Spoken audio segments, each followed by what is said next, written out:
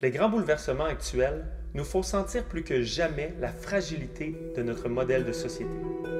Aujourd'hui, si la résilience et la pérennité ne deviennent pas une priorité individuelle et collective, les crises sanitaires, sociales, économiques et environnementales se feront de plus en plus fréquentes et dévastatrices.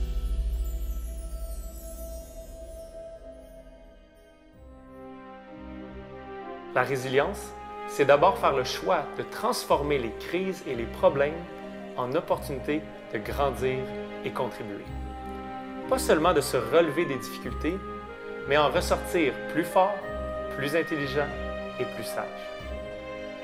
Mais c'est aussi le choix conscient de créer des technologies, des habitats, des communautés, des entreprises, une économie et une société capables de s'adapter pour prévenir et pour faire face aux défis actuels et futurs.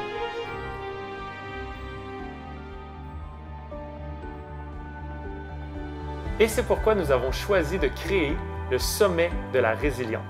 Un événement virtuel en ligne avec plus de 20 invités, experts et leaders des domaines de la psychologie et le leadership conscient, la permaculture et l'autonomie, la collaboration et les communautés, l'entrepreneuriat et l'économie éthique, l'art et l'expression de soi. Joignez-vous gratuitement à des milliers de personnes du 4 au 7 février 2021 et faisons du présent une occasion de créer ensemble un avenir plus éthique, résilient et abondant.